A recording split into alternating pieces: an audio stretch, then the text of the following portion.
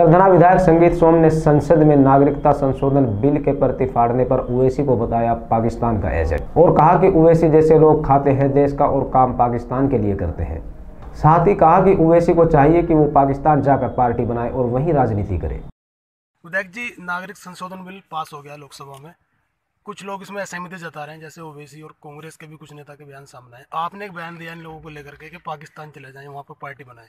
क्या वो क्या राय है आपकी इसके ऊपर? देखिए, मैं फिर कह रहा हूँ, ओवैसी जैसे लोग और कांग्रेस के कुछ चंद लोग जो इस तरीके की बात कर रहे हैं और इस बिल का विरोध कर रहे हैं, वो हिंदुस्तान के फेवर में नहीं है। हिंदुस्तान का बंटवारा पहले भी धार्मिक आधार पर हुआ था और धार्मिक आधार पर होने के बाद फिर जो मुस्लिम जो आज मुस्लिम की संख्या अगर हिंदुस्तान में आप देखेंगे जो चार पाँच परसेंट से पढ़ के बढ़ के सत्रह और अट्ठारह परसेंट हो गई है, उसके बावजूद भी यहाँ का हिंदू भी और मुसलमान भी एक साथ रहता है, बड़े प्यार से और आपसी भाईचारे से रहता है। लेकिन पाकिस्तान जैसी कंट्री में जो तेईस से चौबीस परसेंट हिंदू हुआ करता था, आज वो दो से तीन परसेंट रह गया है। आप भी जानते हैं कि उसके साथ में हुआ क्या हुआ?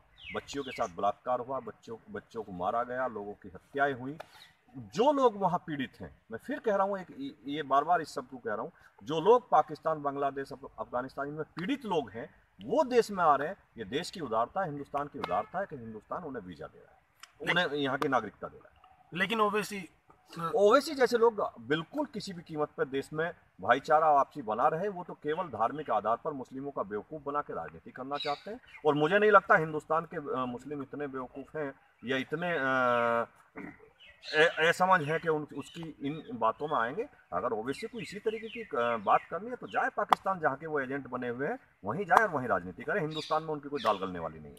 लेकिन असमंजस की स्थिति है मुसलमानों में खासकर लेकर के। मतलब डर डर का माहौल शायद कहीं ना कहीं बना हुआ है। हिंदुस्तान के मुसलमान या हिंदू में किसी में डर का माहौल नहीं है। अभी राम आपने देखा होगा राम मंदिर का भी विषय आया और उस पर देश की सर्वोच्च अदालत ने निर्णय दिया।